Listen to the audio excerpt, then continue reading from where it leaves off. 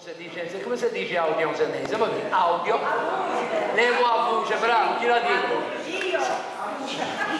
Perché quando mi succede così che sono all'università qualche giorno mi dice la frase giusta che dico lasci poi il nome un punto di più all'esame, o a chi, siccome dice del viaggio deve fare l'esame, va bene, pazienza. Allora, oh, guarda, chi diciamo a sinistra, una cosa che va, non vedo bene da quelle parti, va bene. Va, va bene, e cosa vuoi dire? Allora, tanto detto, ho levato la, la voce al cellulare, è una cosa buona e giusta, quindi se qualche gente visto che non le hanno consegnato a nessuno degli altri, faccio un pedino, che a voce non faccio senare. Ora ufficiale della compagna 1703. Chi ciancianin bisogna cominciare? L'altra volta abbiamo cominciato 1707, che lei un po' in ritardo perché volevano andare oltre 17.05 però cerchiamo magari le stenze un po' dimo così praticamente a 5 dei un po' più precisi. Quindi cianciani a un scalo dei minuti ogni volta. Allora a Maria, a Maria anche a venire penso un po' più tardi, si scusa di noi Ezechia, si scusa anche eh, con Roby Carletta, con il nostro ospite, e, però penso che, che in Sacra Faià era bene. Allora mi posso dire, io ricordi, eh, preparare sempre da Marcella Rossi Padrone, vi ricordo che poi sono messi anche là da porta, quindi se qualcuno gli interessa pigiasse nota o se pigia nota o va là o se scrive quello che eh, magari, magari non vi interessano tutti, vi interessa in poi l'esilo là. Domani, 5 ottobre, sala del caminetto di Palazzo Ducale, proiezione Spirit for Sale, Spirit in vendita, non so un film documentario sui nativi americani e sarà presente Arbor Looking Horse, un indiano, diciannovesimo custode della Sacra Pipa dei Lakota, Dakota e Nakota, che saevano i Sioux. Eh? Ingresso libero, quindi questa, questa cosa di Sioux americani e di indiani americani che si sono messi anche insieme, che è stato una volta un articolo su Panorama che hanno trovato il modo di, di, di, di fare palanche con, proprio con la loro cosa, hanno avuto varie vicende, disavventure, perché bisogna di ammettere che ne hanno fatto di tutti i colori, contro degli altri. Giovedì 6, 14.30, visita guidata al laboratorio di legatoria della biblioteca Berio. Chi le sa interessante, se qualcuno che piace i libri, vede come si, si i libri, eccetera, eccetera, eh, però va bene prenotarsi. Allora là il numero di telefono è 010 557 60 70 per, per fare la prenotazione. Questo saieva già dopo domani. Ben... Ah, non si paga? No, no, ma non c'è questo, devo dire. Devo dire, non devo dire che a, a Marcella sapeva a mettere tutta la roba di banda, perché come dico, sì, sì, perché gli altri senesi siamo sensibili a queste cose qui, insomma, se invece gli appagamenti dice vabbè ma sai chissà, ma vabbè ma non è bello. Venerdì 7 a Trigoso di Sestri Levante festa della Madonna del Rosario con uh, funzione religiosa e spettacolo pirotecnico se possibile, poi gli affea come tutte le fe, luterie eccetera eccetera. Uh, possibilità di parcheggio e ovviamente come abbiamo detto prima ingresso libero. Sabato 8 alla sala dei chierici alle 17 quindi sabato, sabato dopo di Sna a Sinque Biblioteca Berio convegno ricordando Lea. Il convegno vuole ricordare la figura di Lidia Lea Ansaldo fondatrice e direttrice della scuola teatro L'Atelier attraverso racconti di attori, intellettuali, scrittori, registi eccetera. Ingresso libero anche qui Sembra Sincue, ma non a Sena, a Santa Margherita, spazio aperto, via dell'Arco, che devo dire fanno belle, sempre de belle riunioni, magari anche in occasione per andare a Santa Margherita, che è un posto bello poi tra l'altro, vicino alla stazione e ufficio postale parleranno unità e federalismo, che tipo di convivenza dopo 150 anni di storia nazionale, conferenza a cura di Marcello Staglieno. Marcello Staglieno, non so se voi ricordate, è stato un giornalista del giornale, è stato parlamentare da Lega e un evo di Marcello Staglieno, quello dell'Ottocento, eh? quindi quello che l'ha fatto prima, a prima acquigeta, non so, dei proverbi seneci, eh? è, è lui. Oh, credo che Marcello Staglieno stia a Carlo, patria di Paganini. tutti i paganin venivano a caro, ci vengono le nasciuti a Sena, poi che cacciose a casa, però tutti i paganin venivano a caro. Domenica, domenica 9 Ore 12, campo sportivo di Fontanelli in Val Bisagno, sagra folcloristica della castagna, sempre che castagna che seggiano perché pare non è short way, vabbè, ingresso libero. Ah, vabbè, vabbè, anche il castagnone è enorme, dove si che mangia bene, vabbè, però lunedì 10 17.30 Sala del Cenacolo Confindustria in via San Vincenzo, presentazione con l'autrice del libro di Catherine Spack, Amore Blu, ingresso libero.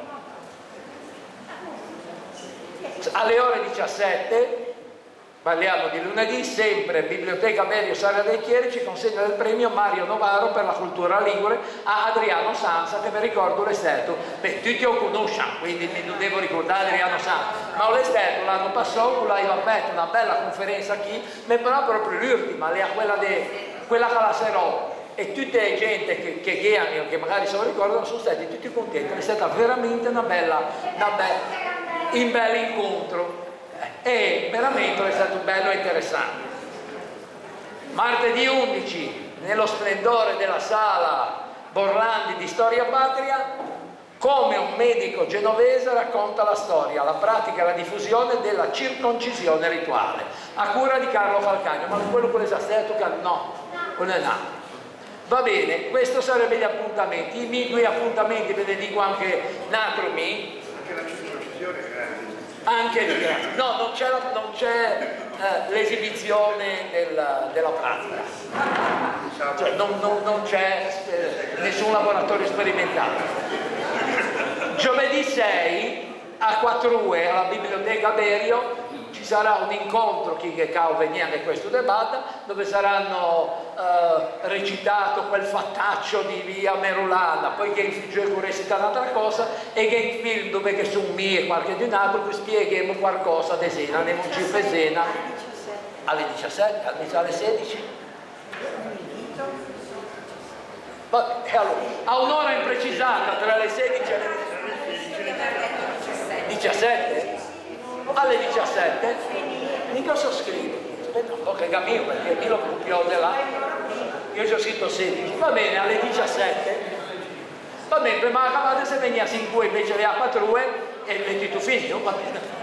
È uguale. Eh, comunque le debate non pagati deve entrare per shortì eh che questa cosa qui. L'altra cosa che pregiudica da, da Sögia invece col secolo usciranno 10 volumetti di una collana Bulesume che è curata da me dove, dove se parliamo che tante cose scritte in senese, di raccontine, barzellette, di poesie di Bassigalù in Sciù Natale, insomma, sono dei librettini di una quarantina di pagine che vengono dette con un secolo.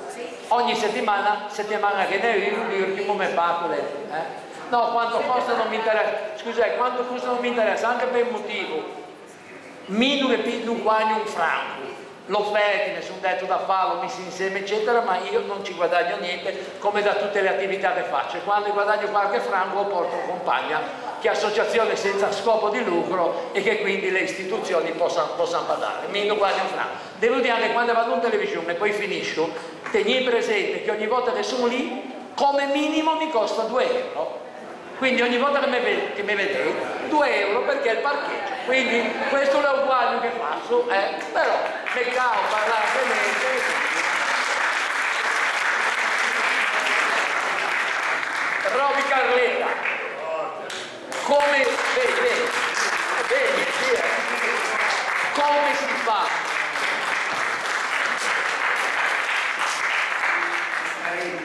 Ve conto questa, ve conto, perché così per presentare Roby Carletta, che alla volta, e così ricordo Enrico Carbone, quello è stato nostro presidente, presidente della Consulta Ligure, quello è stato eh, gran cancelliere per il giro del tempo. E una volta ho chi che dovevo presentare ad agosto, pigio un microfono per dire due parole e mi fa, ma ti presenti a ad agosto?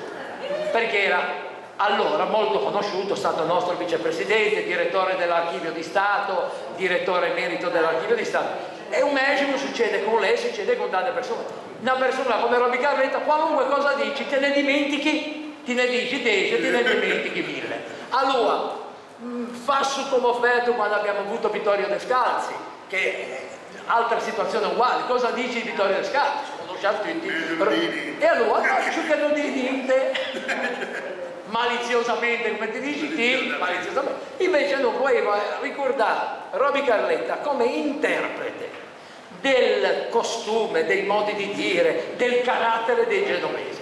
Ti ha scritto due libri, credo che quello lì sia il secondo, proprio i genovesi, eccetera, e mi piace ricordarlo così. Lei fa tantissime cose, cabaret, persona conosciuta, però questa sua figura di interprete del carattere genovese è quella che mi piace chi come unica cosa ricordava. Roby Carletta, cosa c'è da dire? Roby Carletta.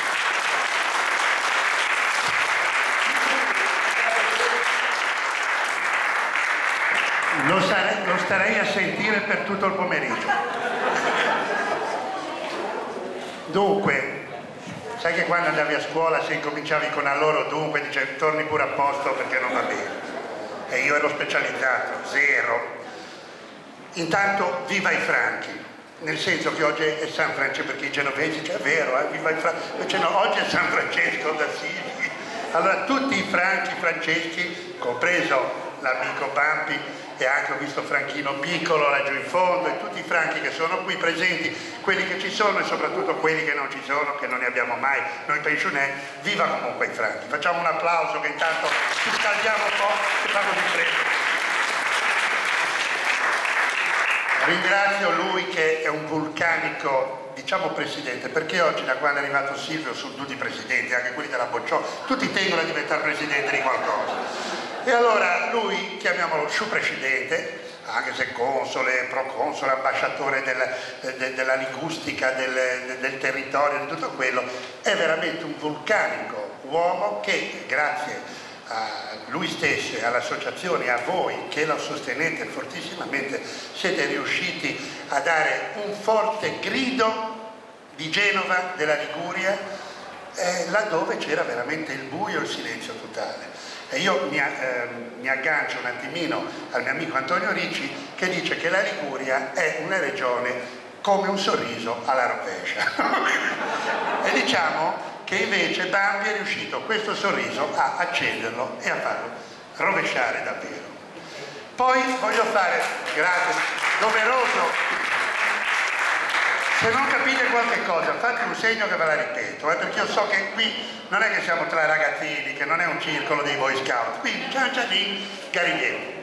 Poi eh, un ringraziamento carissimo a Marcella Rossi Patrone, che guarda, quando uno ti chiama con due cognomi, dici Belin cosa vogliamo, cosa vogliamo? Io quando mi ha chiamato sono Rossi Patrone, ho detto Belin qui sarà soppiato qualche casino, perché perché ti chiama, sono parole e ti tranquillizzi, ma Rossi Patrone, sono Rossi Patrone, ma c'era così, potrebbe venire gratis.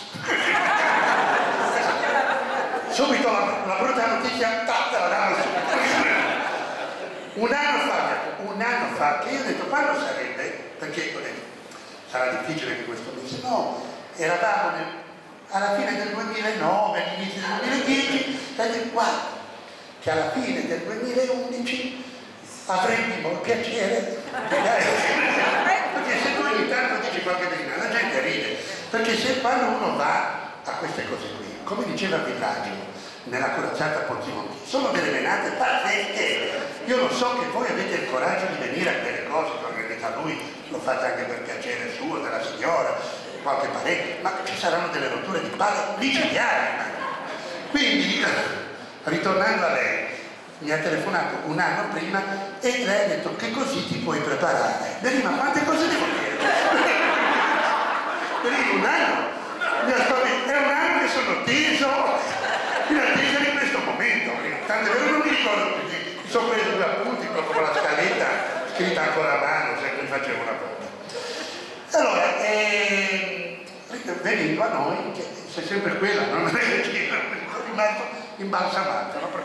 e ormai questo è il nostro destino, rimanere imbalsamati. Allora, allora il ringraziamento l'ho fatto. Dunque intanto qualcuno dice, ma eh, parlare dei genovesi non è che sia un'impresa tanto facile, eh? parlare dei genovesi, a parte che uno entra qui al Palazzo Ducale, vedete, mi faceva notare l'amico, il nostro amico giornalista che c'è la fontana rosa, l'hanno dipinta di rosa, tutti i bollicci saranno perché vedi quello sotto con la chitarra, vedi un sacco di guadorini, vedi non c'è un, quasi un bianco e facciamo la giornata genovese, quindi siamo proprio come il WWF, diciamo, i panda, non so, in estinzione. Comunque, comunque il, eh, lui non mi ha voluto presentare perché quando uno presenta me cosa, cosa, cosa vuoi presentare Carletta? E io invece voglio dire qualcosa su di me perché molta gente magari non sa esattamente chi sono. Dunque, intanto io sono affettuosamente chiamato, abbiamo anche la televisione, il telecondominio, dove vieni? Sei sempre, sei, sei iscritto? l'hai pagata la quota. E eh no, perché mi fanno preso, sai, poi ti fanno un cambio merce col film, due anni da entrata. Vai su YouTube. Eh, vado su YouTube, perfetto. Sono il primo, guarda, il mio primo YouTube, perché non, eh, mi ha chiesto l'altro giorno, ma non la vedo mai su YouTube. Allora, affettuosamente i cabarettisti, i giovani cabarettisti genovesi mi chiamano zio Roby. E a me tutto sommato questa cosa non mi dispiace, perché tutto sommato con i tempi che corrono è meglio essere chiamato zio che papi. Anche perché finirei per diventare il pedofilo del cabaret. Quindi zio Roby va benissimo. Qualcuno dice che io sono la memoria storica del cabaret genovese. Io invece mi considero l'Alzheimer della battuta, nel senso che so come incominciare e lì non mi ricordo più come finire. E non so e non so come finirà. D'altronde c'era Gino Bramieri che diceva non ci sono battute nuove ma ci sono persone che se le dimenticano. In effetti è vero. Io che ho avuto la fortuna di nascere in una città di anziani, che voglio dire, con rispetto vostro, perché se no chi, chi viene alle 5 del pomeriggio con un caldo della Madonna o ti melinano fuori di casa. Oppure, voglio dire, tutta gente che uno che lavora non è che ti viene in che, come si dice, così fermo, andiamo a prendere un gelato, già che ci siamo, ce lo facciamo sciogliere mentre parla Carletta. allora, il Branieri diceva, non ci sono, e allora io sono nato in una città di anziani e eh, fortunatamente essendo anziani molti si dimenticano le cose. Io ho 40 anni che dico sempre le stesse cose, non se ne è mai accorto a nessuno, perché questo è un vantaggio comunque. Poi eh, le cose che succedono a Roby Carretta. Guardate, io sono eh, 40 anni che cerco di fare ridere. Vi racconterò poi la mia storia, perché poi arriviamo ai genovesi, perché io racconterò i genovesi attraverso la mia storia e verranno fuori dei personaggi, tanti personaggi. E a un certo punto io 40 anni dove ho fatto centinaia e centinaia di spettacoli in tutta Italia decine e decine di convention in tutto il mondo, a parte Australia sono andato a fare convention ovunque. Ho fatto decine e decine di crociere sulle navi russe anche, soprattutto sulle navi russe, 15 anni di nave russe e non ce n'era, eh? da da, ma non te la dava mai nessuno perché allora qualche da da, niente. Poi ho scritto dei libri, ho fatto della televisione, ho girato dei film con Vanzina e con Pupi Avati anzi ne uscirà uno adesso che si intitola Il cuore grande delle ragazze a novembre, dove io faccio la parte di un medico cardiologo che faccio morire il Andrea Roncato, non so se... E lui muore perché a furia di ripetere la parte, doveva fare il morto, non respirava più. Dice, ma sta morendo davvero fuori di tenere il respiro. Vabbè, ma questo è un altro discorso. Comunque, parlando di Pupi Avati, con il quale siamo veramente diventati amici, ogni volta che lui va a presentare i suoi film, eh, anzi l'altra volta ha tirato fuori una battuta e dice io voglio essere immortale. E allora una signora ha detto ma maestro lei lo sarà perché ha lasciato, lascerà tutti questi grandi film. Dice no, voglio essere immortale nel senso che voglio continuare a mangiare gelato perché lui è un grande appassionato.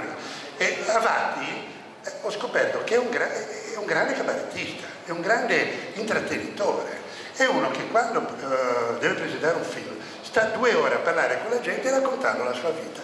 E secondo me oggi si è perso un po' il piacere, soprattutto nel comico, di raccontare, di fare il monologhista. Ormai i comici fanno i personaggi, c'è quello lì che fa, non so, il pizzaiolo, quell'altro ma come si chiama? Ma non so come si chiama, però è quello che fa, sai quello che fa lo scemo, che fa il muratore bergamasco. Ecco, e non sai. Invece una volta c'era Walter Chiari, c'era eh, Bramieri, c'erano questi personaggi. L'unico che ancora è riuscito a fare un monologo, che riusciva a fare i monologhi, è il nostro amico Beppe Grillo, che eh, devo dire che uno spettacolo deve essere raccontato e raccontarsi. Dicevo, dopo tutte queste cose qui, che ho girato dei film, ho scritto dei libri, eccetera, io cammino per la strada a Genova, tant'è mi guardano col filo dell'occhio e piuttosto di darmi la soddisfazione di avermi riconosciuto, si mangiano un topo morto. Poi, perché questo è il carattere dei genovesi, poi qualcuno ti dice, ti posso presentare a Roby Carletta?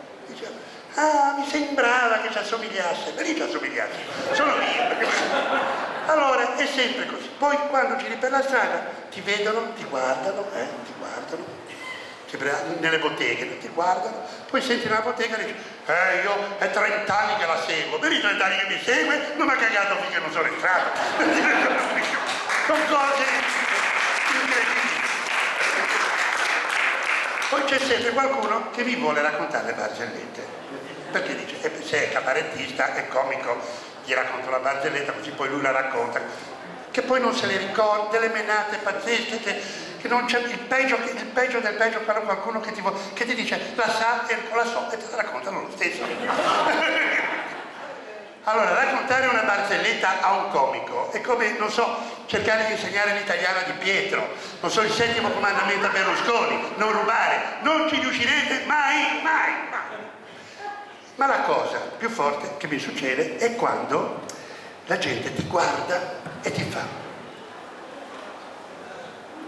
me pas, eh,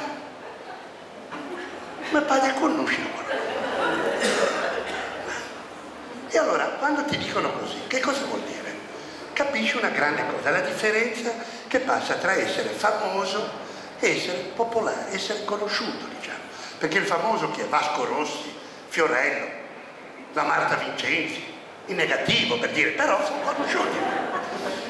Invece famosi, voglio, sono famosi. Invece quello conosciuto è, ha una faccia che la conosco, ma non mi ricordo più come si chiama. Oppure, eh, so chi è, però quello lì l'ho visto già da qualche... e non riescono a, a collocare. Lei si chiama Barletta, lì no, è Barletta no. Bobby, eh no, Bobby, no, Bobby non, non mi piace, Bobby non mi piace. Allora sono andato al mercato orientale Sai quando prendi i numeri da quello lì del formaggio? Che uno dice, ma questa qui è una conferenza, ma secondo te uno come me può fare dei discorsi che eh, eh ti parla di formaggio? Eh sì, ti parla di formaggio, eh, a seconda di come viene, perché non è che uno dice mi sono preparato, questa è venuta così, allora, allora prendi il biglietto, fai la coda, ti metti tranquillo e aspetti il tuo turno perché aspetti che esca fuori il numero, no? E allora il formaggiaio, questa è successa, con pieno di gente lì, mi vede e mi fa, ma lo sapete chi è entrato in questo momento qua? Lo sapete chi è quel signore? Guardate un po', questo qui è... Io volevo sprofondare una vergogna, si sono girati tutti, tutti mi hanno guardato, hanno detto, ma chi vede? Peggio, peggio, vedi che Bobby Garretta caramettista, anche di cabarettista, caramettista. Quindi un peso, un peso. Vabbè, comunque io ho scritto un libro. Dunque, prima di eh, leggervi qualcosa del libro, vi volevo raccontare una, una cosa che eh, io ritengo abbastanza interessante. Come mai io mi trovo qua? Adesso a dicembre faccio 65 anni e io ho cominciato a fare il Bellinone a 14. Quindi andavo al Nuovo Lido di Genova, e come tutti i comici ho iniziato a fare le imitazioni, perché il comico sente di dire qualcosa ma non avendo ancora un autore, non sapendo qual è la sua anima, va a cercare le anime degli altri. E quindi al tempo io facevo l'imitazione di Caro Tenuto, di Fabrizi, Totò, Tina Pica, tutti quelli che erano i personaggi che sono quelli che voi, vista l'età, vi ricordate abbastanza bene. E soprattutto facevo abbastanza bene Gilberto Govi.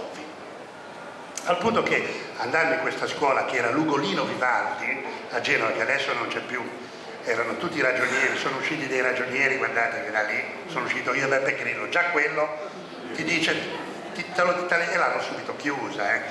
è vero che adesso è un gran bazar in via San Vincenzo, Lugolino Vivaldi. E eh, avevamo fatto una rivista dove io avevo fatto Govi insieme a un mio amico che eh, si chiama Remuzzi, è stato poi diventato condirettore generale alla Banca Carige e lui si vergognava come un rado perché quando entrava la Carige dico guarda che ho le fotografie che facevi la Gigia, eh, quindi non fa tanto il figo.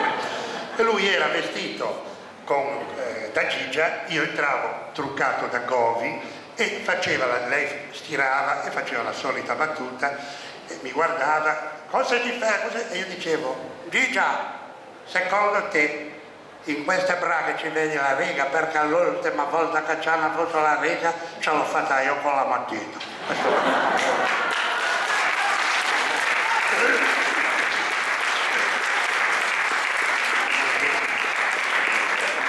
Spinto da questa mia dote imitoriale, goviana, cosa faccio? A 16 anni vado in piazza della Vittoria al 10, interno 11, dove era residente il commendatore. E la scena si svolge così. Io vado col geloso, ve lo ricordate il geloso? Dove c'era la mia voce che oh Gina, beh, Gina, come ti sta? Tutto cose con la vocina, tutto, tutto registrato. Suona la porta e come è d'uso a Genova, qui rientra il disco, mi aprono con la catenella. Adesso c'hanno, ma prima c'aveva la catenella. Lui c'aveva anche un'altra cosa, il cane lupo. Quindi catenella e cane lupo. Cosa vuol dire? Senso dell'ospitalità. Già da lì capisci, no? Io che avevo un terrore dei cani, sento questo cane che sbraitava in maniera bestiale, ero già lì che tremavo come una foglia chi me l'ha fatta fare adesso e la cameriera, che una volta si chiamavano serve, la serva, a me non mi dispiace dire la serva, ma se dice la serva, vengono i sindacati, tutto un casino, te lo lì, ha detto la serva, la serva viene e dice, chi è lei? Tipo la Caroline, la vecchia Anna Caroline, chi è lei? Dico, sono lo studente del Ugolino Vivaldi, vorrei parlare con il commendator Govi. Un attimo che vedo, cosa deve vedere? Classico, eh? Anche al telefono, un attimo che vedo, i genovesi vedono sempre. e l'altro, che dovrebbe essere veduto, dice, se rompe o bene. Questo proprio... cosa rompe. Allora, mi fanno entrare. Io tremante entro in questa casa stupenda, in questo salotto meraviglioso, grande, da cui si capiva già che lui era un grande, soprattutto era molto egocentrico, come spesso succede, voleva ambizioso. E qui poi ricordatevi questa cosa perché devo raccontare aneddoto sull'ambizioso, eh? perché vedi come si svolge poi il discorso. E eh, io mi accomodo sul cosa e vedo che c'era una grande scrivania, dietro c'era una statua marmorea che rappresentava se stesso, un grande quadro quasi pirandelliano dove c'erano due dipinti, lui come uomo nella vita comune e il personaggio che faceva nelle sue commedie. Poi c'erano autografi di tutti i generi, fotografie autografate, ma personaggi, Ermede Zacconi, eh, Eleonora Duse, il Papa Pio XII, i Savoia, dico, Belicide con tutta... Io adesso qui, che vengo anche da San Fruttuoso, manco mica si dico, la situazione si era fatta un po', ero, effettivamente c'era l'adrenalina e si presenta lui con i capelli bianchi, tutto vestito con la sua... Allora si usava, riceve la persona con la vestaglia a righe, queste cose, eh, che oggi se vedi ti apri vestaglia dico a bolliccio, invece allora c'era tutta la vestaglia eccetera, e mi dice prego si accomodi, ma comodo Dice, allora che... come mai? Detto, guardi commendatore, mi scuso, io sono già abbastanza imbarazzato eh, perché sto pensiero di venire da lei, suonare il campanello, il cane, la catenella, se mi riceve eccetera, io sono studente Lugolino Vivaldi che vorrei fare l'attore. E eh, dato che a Genova non c'è niente, ho pensato che l'unica persona cioè in quel momento era colui che riusciva a non far camminare nessuno per la strada, perché quando vi ricordate c'erano le sue commedie, Genova era come se fossero stati i mondiali di calcio, i tempi di, di Mike Bongiorno, la Scenado, cioè praticamente le, le, la gente che rimaneva sbalordita davanti al bianco e nero, sono venuto da lei per farmi dare un consiglio. Consiglio? Che cosa fa? Dico, faccio il terzo anno di ragioneria, come va a scuola? Scusi, se andassi bene non verrei mica qui. Eh. Scusi anche.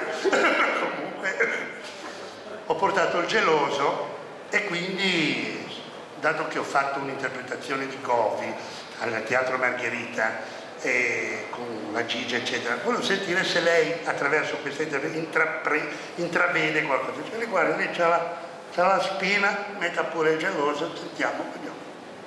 Ecco, parte lo sketch io lo guardo, tutto serio, io lo guardo, serio, niente diciamo. A un certo punto finisce e mi fa, ma Govi non è che parla così, eh? Dico scusi, in che senso? Ma Govi ogni volta che io faccio un'interpretazione la voce cambia a seconda del personaggio. A me sembrava sempre uguale. Beh, lo dice lei, questo è tradirlo.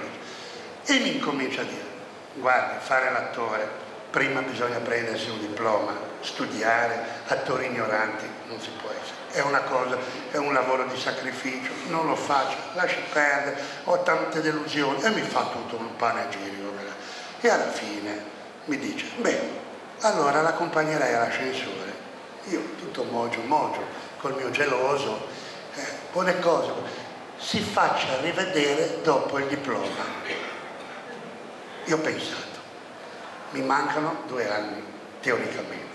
Ce ne metterò quattro, lui sarà ancora vivo. È un ragionamento. Comunque, vado a casa, mio padre era un funzionario della prefettura di Avellino, incazzato dal mattino alla sera, quindi non era una persona con la quale si poteva parlare di queste cose qua, lontano. Volevo la chitarra, mi ha regalato un ombrello, questo tanto per capirti. Allora a un certo punto, a un certo, surreale, a un certo punto siamo a tavola come si usava a quei tempi che si mangiava ancora tutti in famiglia, non che adesso che si mangiano i panetti, quelle cose così, col telefono nero, quello sulla parete, col lucchetto, regolamentare lucchetto, squilla il telefono, va mia sorella che la più piccina, Paola, tre anni di meno, corre, va nella, diciamo, nel corridoietto, viene da me e fa c'è un tuo amico scemo che dice di essere Govi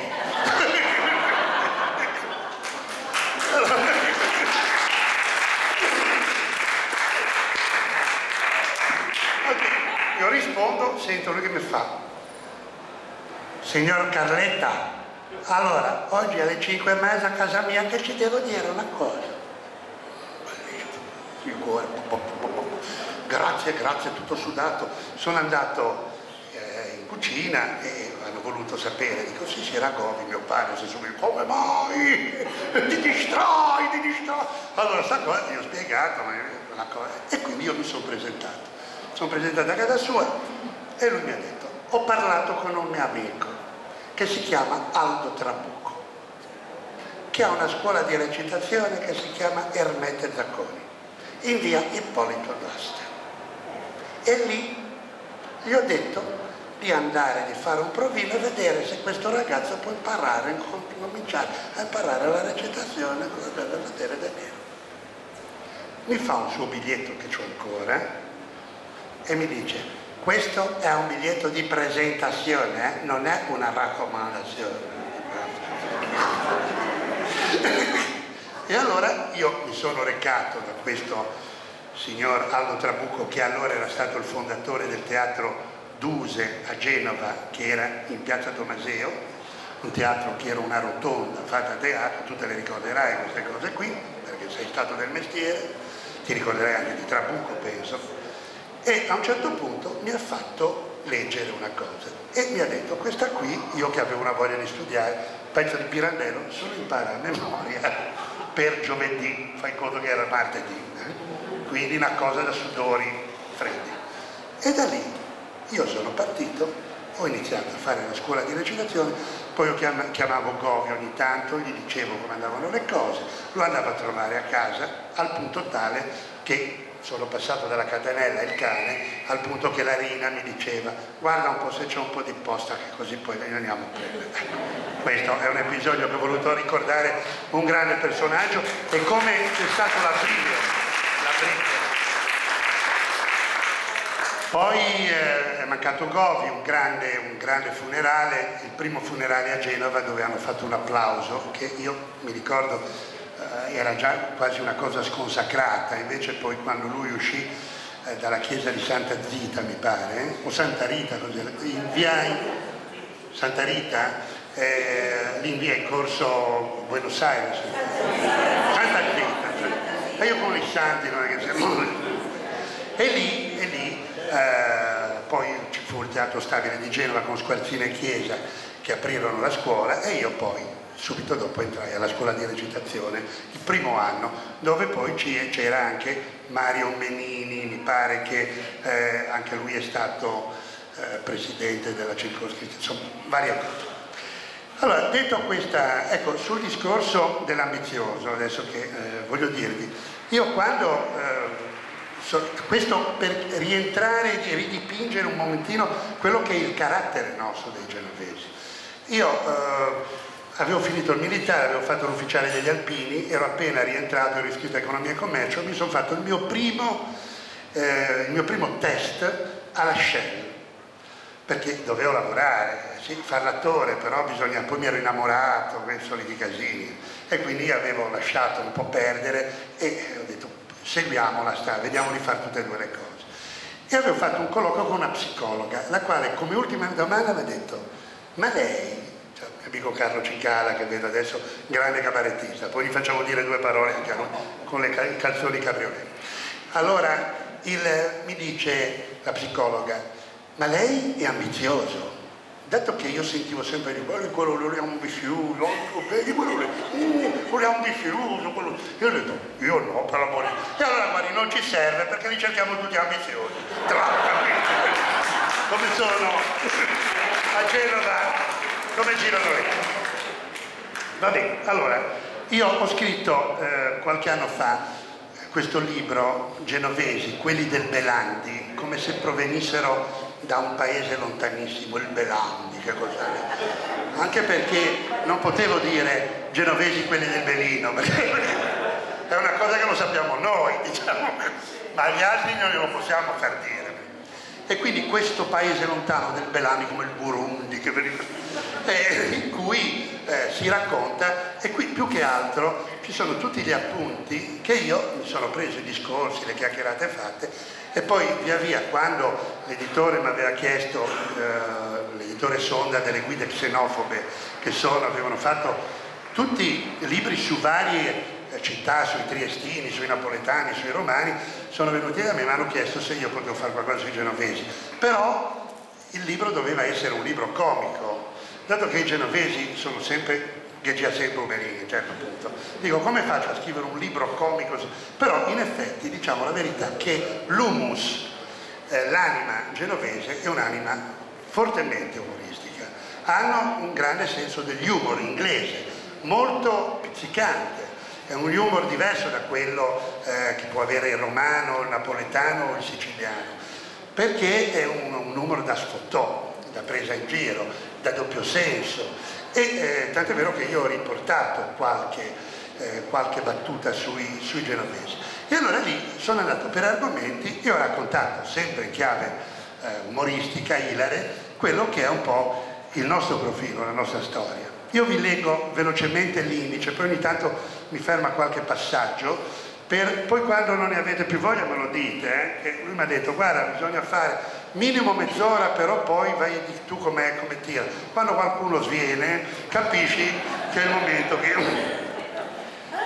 Allora l'indice, il grifone, alza la coda, perché voi sapete che questo grifone la coda ce l'ha avuta abbassata. Anzi, ogni tanto se eh, Franco vuoi intervenire, c'è qualche argomento che ti stuzzica, eh, eh, intervieni pure, perché qui andiamo un po' come il formaggio parmigiano, tiriamo giù un po' così, qua e là, no? Però ogni tanto c'è qualcosa che può venire a qualcuno può interessare. E c'è questa storia del grifone che aveva veramente la coda in mezzo alle gambe, che credo che siano stati in Savoia a fargliela mettere. Però poi è arrivato Perico e gliel'ha fatta alzare. che tutti i politici tirano sempre a farti alzare la coda per essere più comodo per la penetrazione. Però, questa mi è venuta adesso, non l'avevo preparata. Vedi la maledetta improvvisazione, poi ti fa dire cose che... E poi è uscito fuori anche la storia che noi volevamo essere annessi al Piemonte c'è stato un momento in cui sembrava che la capitale diventasse Torino e quindi che la Liguria diventasse una colonia del Piemonte. Tanto è vero che poi ho scritto Pierguria o Limonte, perché poi dico se si fondono, no? È un po' come i mandaranci, no? Che facciamo qualcosa. Ma sai che penso? Ho fatto un capitolo Ma sai che penso perché la canzone cantata da Cappello la cantava mi diceva mio padre, che era un grande frequente, come tutti gli uomini che nella eh, lavoravano nello Stato avevano i biglietti gratis del cinema e del teatro e lui andava spesso a vedere l'avanspettacolo. Forse è da lì che è nato il mio desiderio di fare il comico, perché vidi Visiderol, adesso mi viene in mente un nome, te lo ricordi? Visiderol, che era un piccolino che sembrava, vedete io ogni tanto tiro fuori dal cilindro qualche nome che qualcuno magari non lo sa, però è bene poi ricordare questi cose, che faceva, era... Eh, esatto, eh sì, che era la sua soubrette, no? allora c'erano queste subertine mal prese, eccetera. E quindi attraverso il, il, il, varietà devo dire che a me viene veramente poi questa voglia di fare, di fare il comico. E c'era Mario Cappello che cantava Ma se che penso, tutti che piangevano, disperati. E quindi è diventato l'inno dei genovesi, è come l'inno di Mameli praticamente per noi. Solo che i genovesi la cantano anche fuori tema, perché io capisco l'argentino che è 30 anni che è lì, che sta a Caracas, oppure quello che sta a Caracas, a Buenos Aires, eccetera, e canta, hanno la loro associazione. Ma quando uno sta 15 giorni a Courmayeur e dice, ma se che penso, allora mi vedo un ma, ma togliti dalle balle, prenditi una casa barata. io non so. Allora i genovesi sa questa cosa. Un, un bel di carattere. Su questo non c'è dubbio. Non c'è. Perché qualcuno dice, se entri in casa di un genovese, puoi entrare in tutte le altre case. Sarebbe una cosa, uno slogan per i ladri. Ma una volta mi ricordo un colonnello comandante dei carabinieri, che eravamo stati invitati al circolo ufficiali, mi ha detto, signor Carletta, è quattro anni che io sono a Genova, non mi ha ancora invitato un cane in casa. E dico, guarda, non si preoccupa, se fosse stato della finanza l'avrebbero invitata più volentieri. Sono le cose che... E allora io in questo bene di ci ho messo timido o maleducato.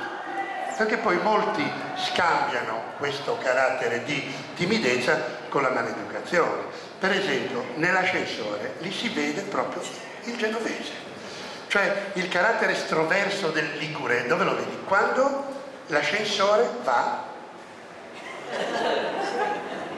e tutti leggono le istruzioni da 40 anni tu per esempio il genovese poi se si ferma l'ascensore non si parla. Piuttosto che dire così, una cosa quando li liberano dopo due giorni non si cagano neanche non si sanno due giorni col quindi. Genovese è su un marciapiede, c'ha una vista il genovese, lontano 30 metri vede uno che potrebbe salutare, beh, mia lingua non è Cosa fa? Lui cambia, l'altro cambia. Passano praticamente il cambio, che poi a furia di cambiare si ritrovano di nuovo sullo stesso. Allora, grazie.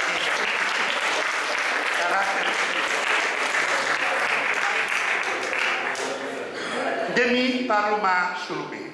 Certo, perché i genovesi, tante, ehm, se ti prendono per il culo gli altri, mm, lì sta cioè, cioè quello lì non è. Noi ci possiamo dire, perché non c'è un genovese che parli bene di Genova, eh, che parli bene della, del sindaco, questo, primo, Luigi 14, 15, 16, tutti Luigi, non c'è un Luigi che gli vada bene, non c'è un'opera che gli vada bene, il genovese gli va tutto male, il bicchiere non è mezzo vuoto, non c'è neanche il bicchiere. Quindi le abitudini, il maniman,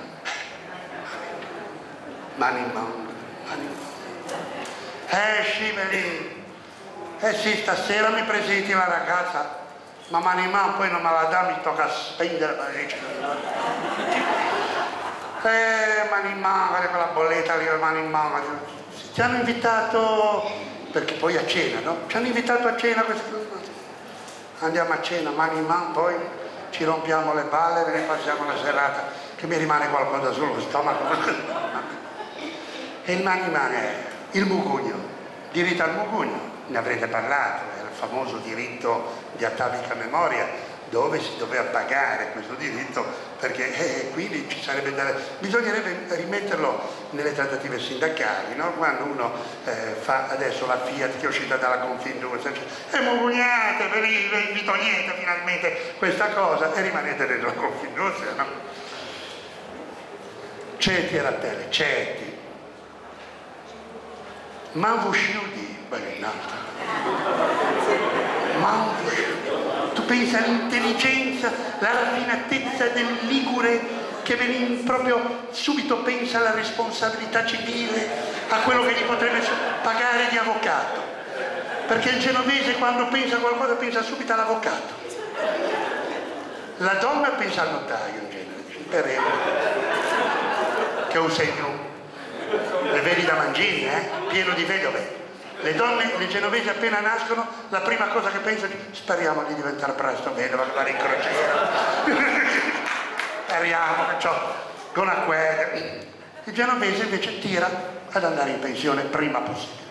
Perché uno che vive al mare e che mugugna non ha voglia di fare un. Diciamolo poi, i genovesi non hanno voglia di fare un bellino. Cioè non è una città di lavoratori, noi non ce lo possiamo dire. Una volta diciamo che è un baccano ma il Baccani era il padrone, era il, il, erano i Fassio, i Cosoli, i Cibasevi, cui venivano poi anche da Trieste, gente che veniva da fuori, il, c'era Parodi, quello che girava in 600 con l'autista, capisci? Parodi, venì, venì col cappotto risvoltato, venì, quelli che venì, giravano le, le, le, buste delle lettere, venì cose bestiali. Genovese, il dipendente, non ha fare lì, perché guarda, no Adesso per esempio che c'è il sole, i genovesi, a parte i belinoni come voi che siete venuti, ma dove sono? Sono al mare. Poi dice, bene, ma come mai c'è tutta questa gente in giro? Eh, eh, eh, quelli che lavorano sono da un'altra parte, perché che ci siamo degli spintori. Eh. Allora, Mambo Shudi, che sembra una cosa che tu senti, è un cetto, che ti fa troppo, ti fa pruno. Dimmi, ti posso dire una cosa? dimmela tranquillo, che, ma posso stai tranquillissimo. Allora, Manvusciudi, e quindi ci tuteliamo. Poi cosa abbiamo? Shushai Shurbi. Guarda che anche quella lì è una cosa di un'intelligenza. Che il genovese, tutte queste cose qui insieme, non, non le riesce a fare. Voglio dire, capisci, anche nelle, nei rapporti sessuali si fa una cosa per volta, cioè non mi puoi far vedere il Kama Sutra tutte insieme che mi incasino ho sciusciato, ho sciusciato, ho sciusciato. Hai capito?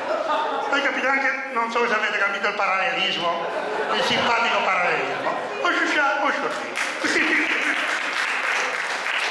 Le cose che... Perché questa mi è venuta eh, adesso perché c'è. Poi Zelese Risureo, viene il...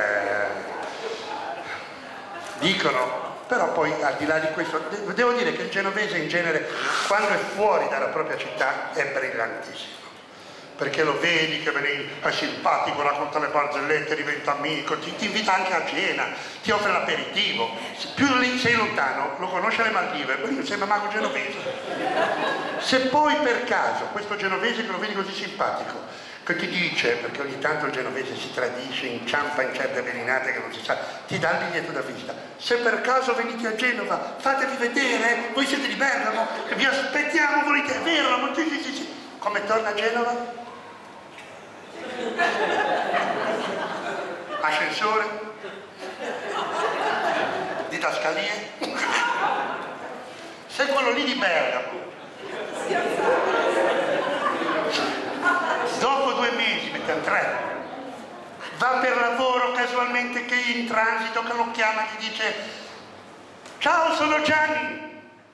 Gianni chi? Ma quello di Bergamo, che ci siamo conosciuti alle Maldive. I signori non sono in casa, sono partiti.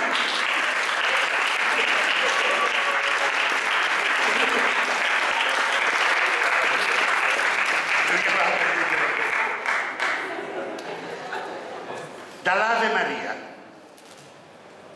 edicole di devozione, belli Ma lo sapete perché hanno messo nei carucci, cioè nel centro storico ci sono tutte queste cose, le madonnine devote, eccetera?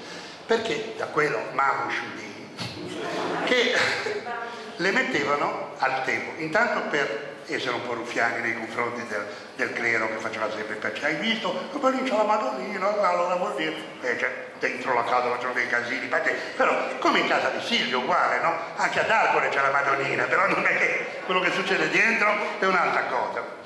E allora, poi la Madonnina, dov'è che c'era? Accendevano i lumi, quindi era uno spazio luminoso, che si teneva illuminato e poi non ci mettevano la rumenta, aveva anche una sua, perché la rumenta sotto la Madonna, e quindi aveva anche una sua funzione ecologica. E allora dalla, dalla, dall'Ave Maria al Belin, cioè a un genovese che di togli, io mi ricordo da bambini, da ragazzi, dicevo togliti quella cosa, quella brutta parola che non si deve dire, toglila. Se togli una cosa così alla, alla parola di una persona, Belin, eh, capisci? No, non sei, qualsiasi è un prodotto che si consuma in qualsiasi tipo di, di stagione, è un quattro stagioni. Va bene per tutti, è come la margherita, cioè la pizza, no? Quattro stagioni. E lo, lo consumano i, i, vecchi, i bambini, i piccoli, eh, i ricchi, i poveri, insomma tutti. E allora io, proprio su questo, ho voluto fare, vi leggo un pezzettino di, di libro relativo al Belin che dice è nato così il popolo del Belandi che non è un lontano paese esotico ma un modo di dare al Benin la dignità di una vera e propria declinazione semantica. Belandi ne è la più diretta e praticata sostituzione. Per esempio, Belandi Figeur, complimenti ragazzi, la cui clonazione è infinita, Belan, Belero, Bellera, Bellissimo, Bellicite, Berettin, tutte parole che se pronunciate in un certo modo, magari con quella espressione un po' così, esprimono lo stesso sentimento, una sorta di energico compiacimento per una cosa fatta da altri. Ma i significati della parola più amata dai genovesi di ogni età non esaurisce qui. Non mi importa un belin, non si vede un belin, inteso come nulla, non mi importa nulla, non si vede niente.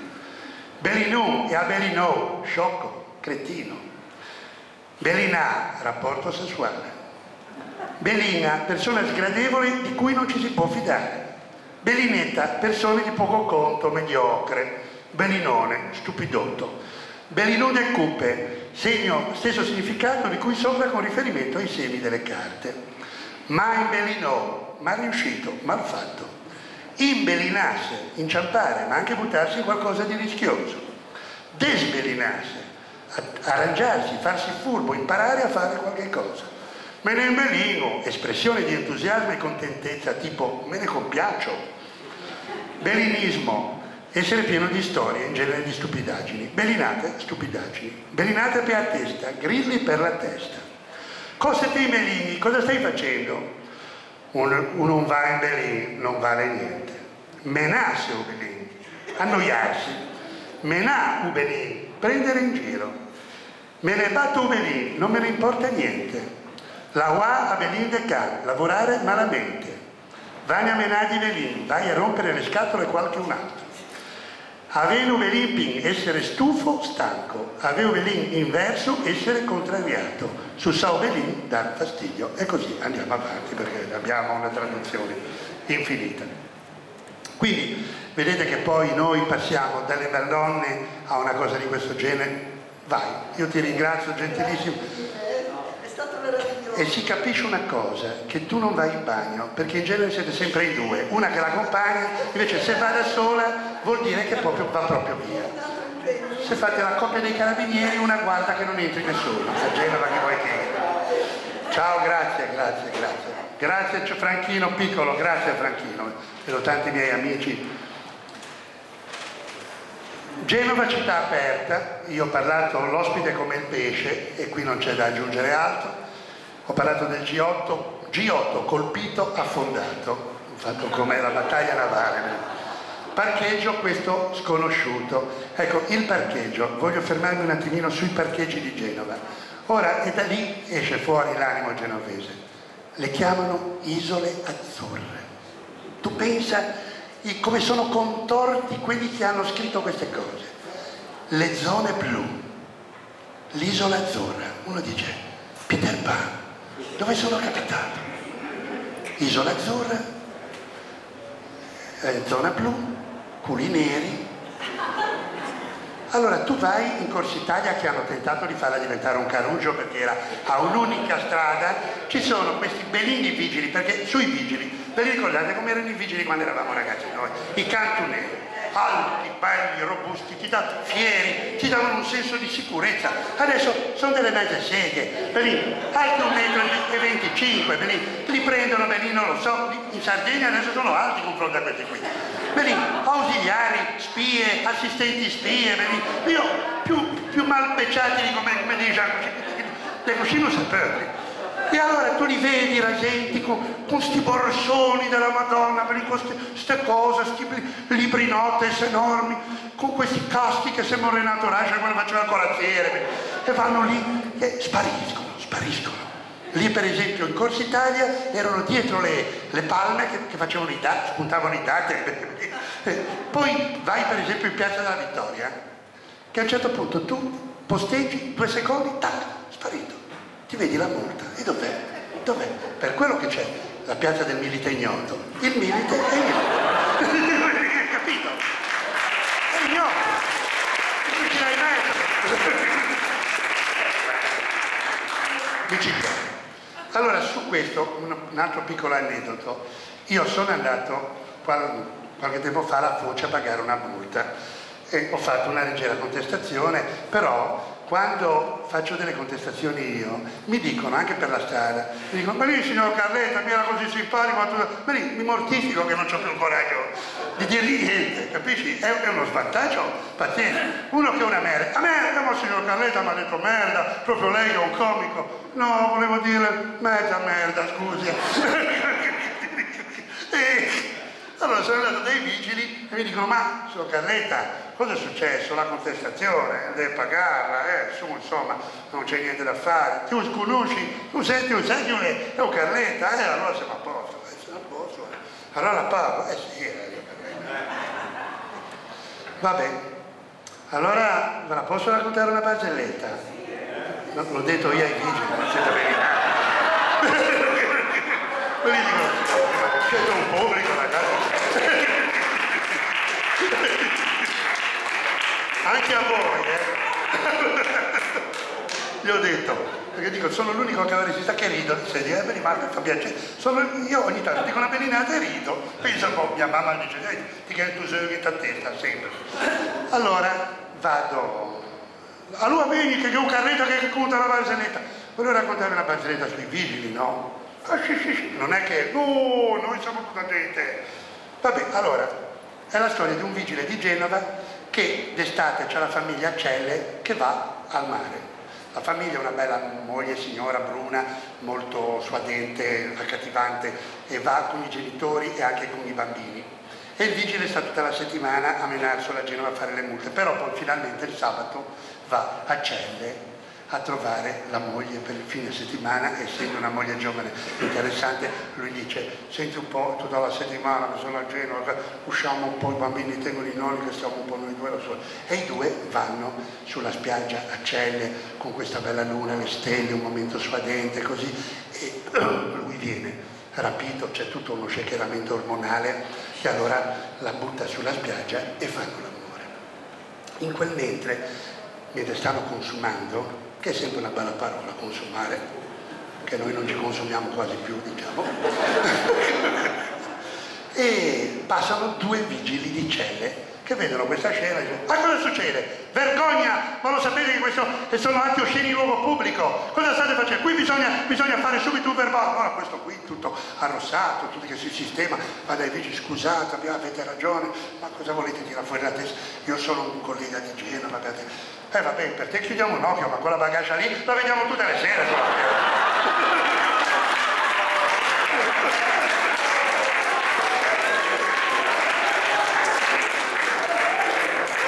C'è un modo di pagare le multe anche questo. Quindi sai il cabarettista ha le sue piccole vendette, i suoi modi di vendere. Allora, dove eravamo andati? Allora lì il centro storico. Centro storico. Guardate, sul centro storico io vi posso leggere una piccola cosa che, come dire, io quando ero ragazzo c'era mio zio che era un commerciante che diceva eh, il centro storico bisognerebbe metterlo un po' a posto qua e io parlavo sempre era il periodo che ero bambino andavo a prendere i blue jeans blu di Genova era arrivata l'Enterprise la nave americana vedevamo gli americani avevano le Chesterfield le bagasce mangiavano i cincum era tutta una cosa così noi avevamo quei, quei blue jeans duri duri che quando arrivavi a casa vi svoltati un male alle pale, cuge. I cugiasti, siamo dei cugiasti proprio rovinati con quelle cose. Poi andavi con le ragazze, le ragazze erano, le mamme delle ragazze erano tranquille finché portavi i blue jeans. I tempi, le teste, capisci? E allora il centro storico, venì a trovarlo, sto venendo il centro storico, avevo, avevo scritto, aspetta, eh, aspetta che venisse che siamo pagina 50 dove perché qua bisogna andare per pagina sai cos'è che quando manca? eccolo qua questa specie di città proibita è formata da tre sestieri quello del Molo, della Maddalena e di Pre che formano un arco che accompagna il porto i cui confini partono dalla zona di Principe per terminare giusto al Molo ma vuoi dire eh? L'angiporto della città è il centro storico più grande d'Europa, una vera e propria città nella città fitta di vicoli strettissimi, dai nomi più stravaganti, Vico dell'amor perfetto, Vico Indoratori, Vico Veggenti, Vico Velenoso, Vico Uso di Mare, Vico Squarciafico, Vico Saraceni, Vico della Scimmia, Vico del Tempo Buono, insomma centinaia di carugi, strette gole da cui si intravedono squarci di cielo sul gran pavese di lenzuola, stese tra una finestra e l'altra, di nobili e meno nobili facciate che pare vogliano baciarsi. Alle multietniche atmosfere dal sapore levantino si assomma il profumo del mare che scivola sulle spezie esposte su grandi sacchi di juta e l'odore forte e seducente delle friggitorie di sottoripa, traboccanti di farinata, cuculi, panissette, castagnaccio, stocche e polpo bollito, sospinto dalla tramontana che corre fredda e veloce tra i vicoli e i portici. Piccola pennellata della nostra. E Grazie, perché dentro il cuore di un comico batte sempre un po' di poesia, anzi soprattutto più poesia che comicità, è dalla poesia che nasce la Ma questo è un altro discorso che potremmo fare in un'altra, un'altra sede. Il, ehm, io ho scritto San Camallo del Porto, vi spiego perché io ero diventato amico di Battini, perché io ho fatto una miriade di spettacoli di beneficenza, veramente, dalle carceri, agli ospedali, tutto, ormai praticamente faccio solo beneficenza perché non mi paga più nessuno. Sono come banchi, cioè io e te andiamo più o meno sulla stessa linea.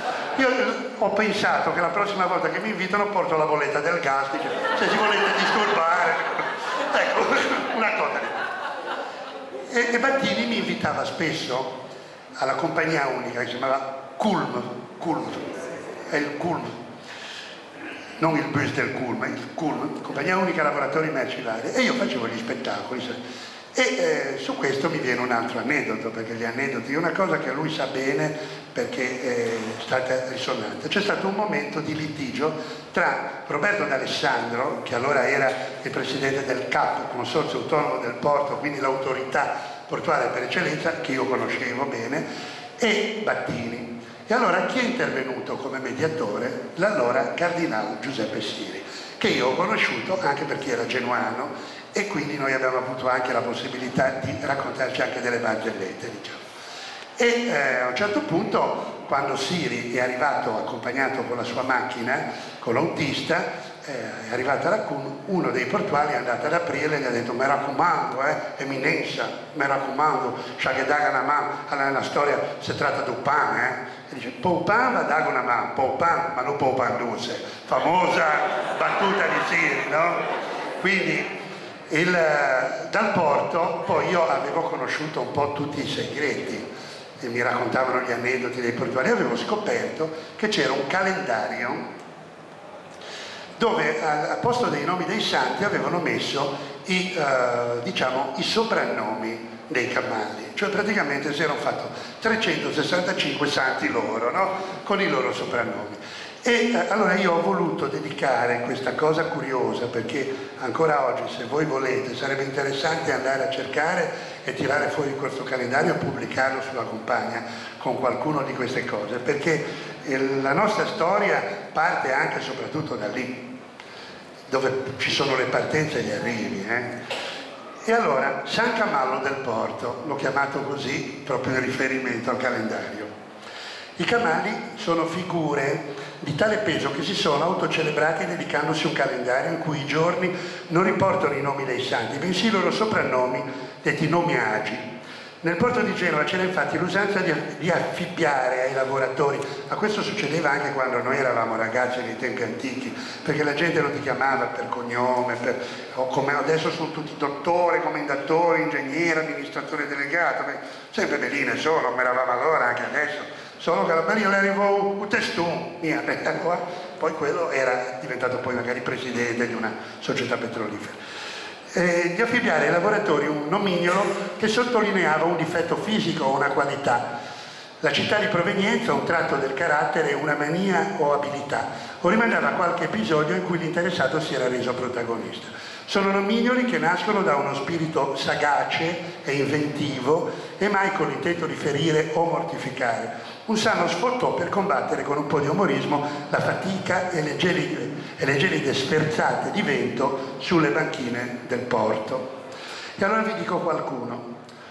Un negro d'un pugno, uomo alto e robusto che con un pugno fece stramazzare al suolo un toro infuriato fuggito dai macelli di Cadempita. Questi sono tutti personaggi realmente esistenti. Maciste, nomignolo attribuito al camallo Bartolomeo Pagano che interpretò questo ruolo nel film Cabiria di Gabriele D'Annunzio nel 1914. Aurelio o faccia sia, l'Aurelio il faccia gelata. O cagadreu, il caga grosso. Gigiu o bala ben, Luigi convinto di ballare bene. Picchegiu, Pidocchio, forse per la sua avarizia. Brillantina, il brillantina perché amava frequentare i locali eleganti. Sette merde, e qui si capisce, lo chiamavano amichevolmente sette. che capiva. Poi confidenza, sette pellicola perché era così bravo a manovrare la gru che a vederlo sembrava di essere in un film. Asedo, asino d'oro, ignorante ma ricco. Baccioccu, elegante gaga.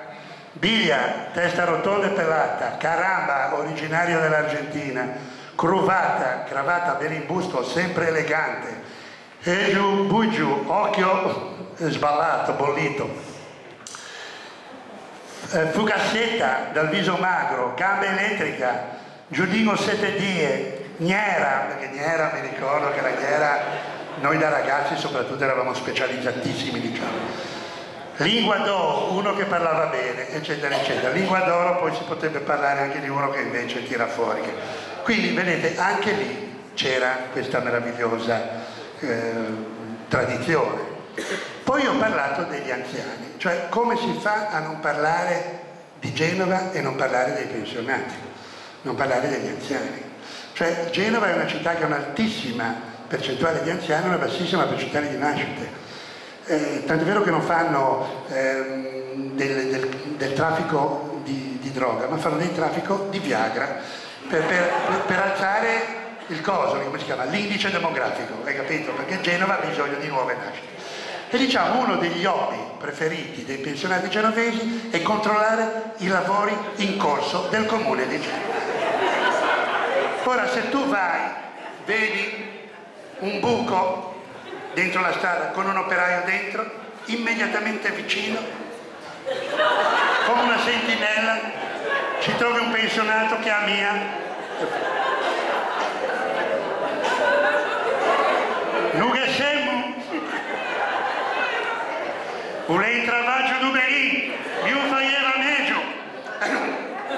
Questo è il lavoro che fanno i nostri. Le pensionate che 99 su 100 sono vedove, come vi ho detto, che è un grande anelito della genovese, 50 anni, speriamo di diventare vedova ma non così tardi, insomma, avere ancora la possibilità di farmi una trentina di crociere, insomma. Le trovi da Mangini alle 5, 5 e mezza che prendono il tè.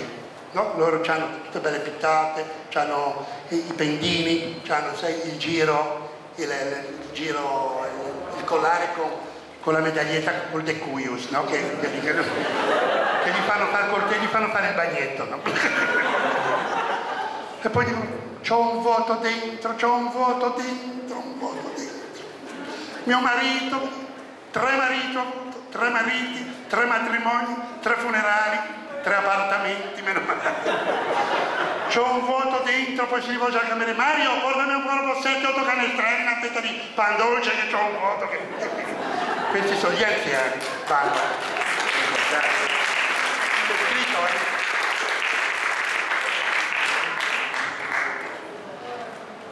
I comici i cantautori la nostra, la nostra, poi parlo anche di altre cose, butteghe antichi, tutte le cose delle nostre grandi tradizioni. Purtroppo ormai eh, avevamo dei teatri importanti, li hanno fatto diventare dei supermercati, botteghe, eh, qualcuno passa da qualche parte e vede che c'è un cinese, cioè non c'è quel, quell'epoca lì ormai è sparita, un'epoca d'oro, solo i vecchi ricordano e sospirano. È una Genova, è una città piena di contraddizioni nel carattere, nel modo di essere, guarda caso che ha dato vita a due, due tipi di... Eh, di scuole, la scuola dei cantautori, detta la scuola dei cantautori genovesi, e che sono quasi tutti suicidi perché tutti hanno tentato di ammazzare, qualcuno ci è riuscito, Gino Paoli gira ancora con un pezzo di ilico, però diciamo, Lauzi è morto, Bindi è morto, eh, De André è morto, il, eh, cioè, cioè, ci sono, quando vedo Gino Paolo, gli parlo della scuola dei cantautori, lui gira con le mani alla salvaguardia. Tant'è vero che sui cantanti, poi questa famosa scuola dei cantautori genovesi è inesistente. È inesistente perché ve lo spiego subito, io l'ho anche, l'ho anche scritto in un pezzettino, poi questo libro non so se in circolazione, l'ho, l'ho presentato al Palazzo Tursi in un, uh, in un tripudio di, di, vasi di basilico intorno a me perché c'era tutta la sala del Gran Consiglio piena in mio onore di vasi di basilico. Poi mi sono portato dei cantautori che hanno cantato le canzoni di, eh, della grande tradizione e mi sono portato anche qualche comico, tra cui anche Carlo Cicala, che vedo che è sparito. Ma comunque vi, vi racconto questa dei, dei cantautori. Uh, quindi non solo non esiste una scuola nel senso, che, nel senso accademico, nel termine, ma si avanzano anche dei dubbi sull'autentica genovesità dei cantautori. Gino Paoli è nato a Monfalcone, Bruno Lauzi ad Asmara, Paolo Conte condivide con Luigi Tenco le origini piemontesi e Fabrizio De André, nonostante il rapimento, ha continuato a risiedere sino all'ultimo in Sardegna Genovesissimo invece il compositore Giorgio Calabrese, nonostante il cognome. Eh, quindi vedete che è la scuola. E poi c'è la scuola dei comici, cioè proprio per questo questo humus, un po' di cattiveria, di voglia di sfottere, di prendere il giro. Io sono nato in piazza Martinez, dove è nato Beppe Grillo, Orlando Portento, che non è una cosa da citare tanto, la camellata, che lui è avvelinato ma non lo vuole ammettere, cerchiamo di dirglielo in tutti i modi, ma non c'è verso. È nato anche Donato Bilancia, ahimè. Cioè, noi siamo nati a San Fruttuoso, che dal nome sembrerebbe un santo protettore degli interessi bancari. San Fruttuoso, ma non ha mai affrontato un benino di niente. L'unico che ha fatto il grano è stato Grillo, l'unico del, del giro. E quindi eh, ehm, noi mi ricordo quando eravamo in piazza Martinez, il nostro hobby era sederci su una panchina, vedevamo passare qualcuno e po', un po' panè, no? prendere in giro le persone, allora da lì nasceva proprio, e poi prenderci in giro tra di noi. E quindi la forza non era tanto nel tirare fuori i muscoli, quanto nell'essere più veloci nella battuta. Chi era veloce di mente era il più bravo ed era il più rispettato. Quindi l'arguzia poi era quella che ti premiava e che poi abbiamo capito che ti avrebbe premiato anche nella vita, perché con la dialettica hai un passepartout diverso da quello che rimane sordo muto. Eh, tu lo sai meglio di me Franco. E poi è nato eh, Paolo Villaggio, dalla sua grande cattiveria eh, ha inventato Franz, eh, Kranz, ha inventato Fantozzi, poi da lì sono nati tantissimi altri sottoprodotti, ne, ne cito alcuni, le Iene, Luca Bizzari, Paolo Chessisogro, i Cavalli Marci, Adolfo Margiotta e Massimo Olcese, Carlo Pistarino, Enzo Braschi, Stefano Nosei, eh, Ugo Di Ghiero, insomma tantissimi altri personaggi che hanno, ce ne sono veramente tanti genovesi che poi hanno preso la, eh, la strada dell'arte. Io non so, mi pare che ho sforato, dico ancora una cosa e vi lascio. In questo libro non potevo non parlare della cucina, non potevo parlare del pesto, che io ho definito l'unica salsa al mondo senza consumare una lira di gas, il pesto. Soltanto potevamo abbiamo avuto eh, Genova eh, non soltanto da ridere, non soltanto musicale, ma anche una città di cultura, tant'è vero che il 92 è stata capitale della cultura, adesso poi un po' così, una cultura un po' a brezio, però proprio legato, e noi abbiamo avuto dei grandissimi poeti, tra cui Eugenio, poi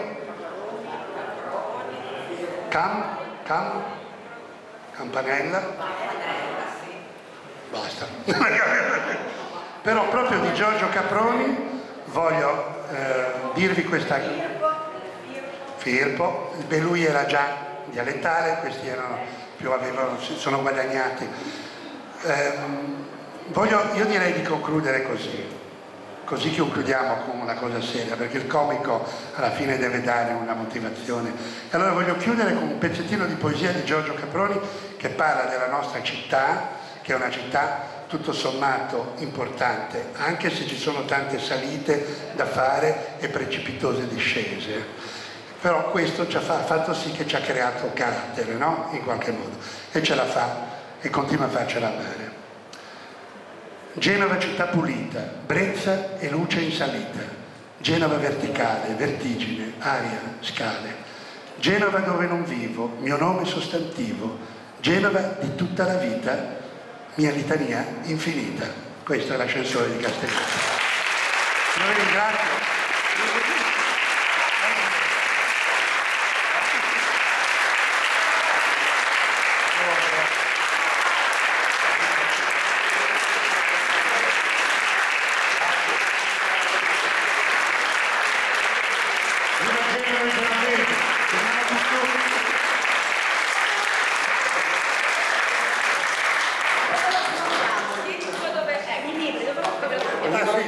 Questo libro, edito da Sonda, eh, lo potete trovare da Feltrinelli, da Mondadori, chiunque, i libri di Roby Carletta genovesi. Magari adesso non hanno più la scorta, però se lo richiedete la casa editrice ve lo farà avere perché ci sono ancora tutti gli invenduti che credo che io un'infinità che mi hanno maledetto da anni e quindi gli fate un favore. Poi Natale ci vuole un attimo, no? Quindi voi arrivate prima, lo prendete anche adesso sotto saldo perché eh, pur di toglierseli di mezzo credo che l'editore si rotoli come una foca e quindi vi farete quattro risate. Grazie ancora di tutto.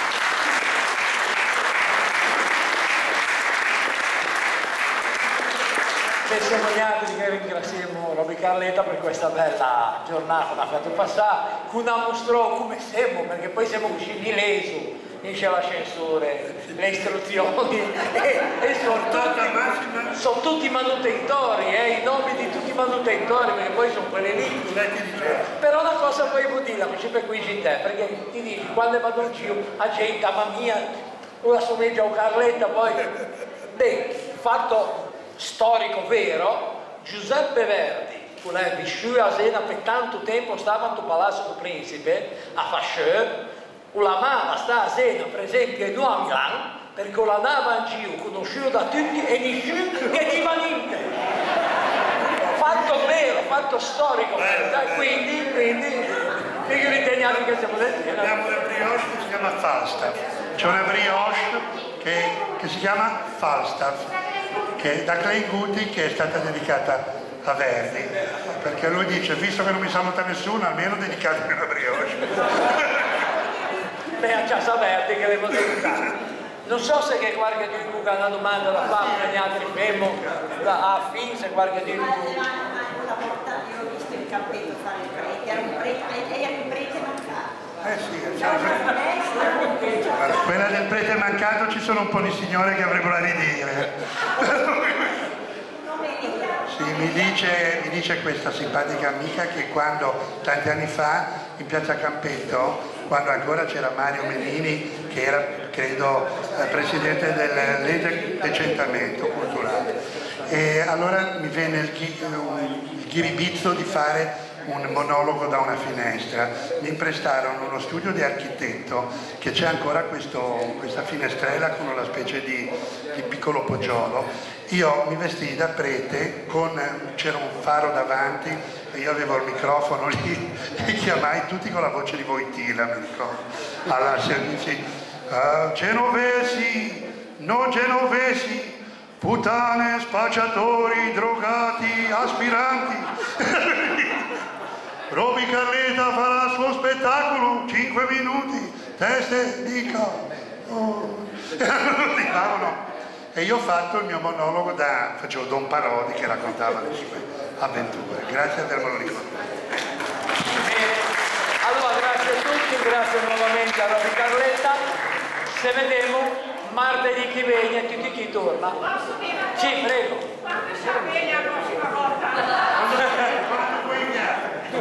Bene, grazie della disponibilità di Carletta. Grazie.